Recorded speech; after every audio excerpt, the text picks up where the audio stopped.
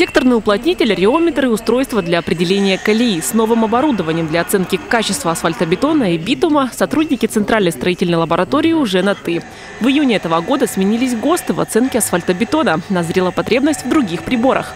Если раньше основным показателем э, качества был коэффициент уплотнения, насколько уплотнена смесь, э, там, прочностные характеристики, там, предел прочности и так далее, на то сейчас этот вектор сместился в сторону вот, э, колееустойчивости асфальта, бетонов, то есть насколько он э, сопротивляется воздействию сдвигающих нагрузок от автомобильного транспорта. На приобретение иностранного оборудования для контроля качества из краевой казны ушло 25 миллионов рублей.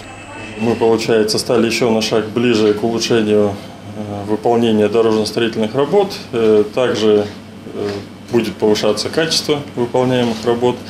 И, соответственно, наши автомобильные дороги будут служить нам дольше и радовать нас всех. Новое оборудование опробуют уже этой зимой до начала ремонта дорог. После новогодних каникул в лаборатории начнется настоящий ажиотаж, отмечают специалисты. Они начнут выезжать на карьеры производителей щебеночных и песчаных материалов, отбирать пробы битума и тестировать его качество. Валентина Аскерова. День с толком.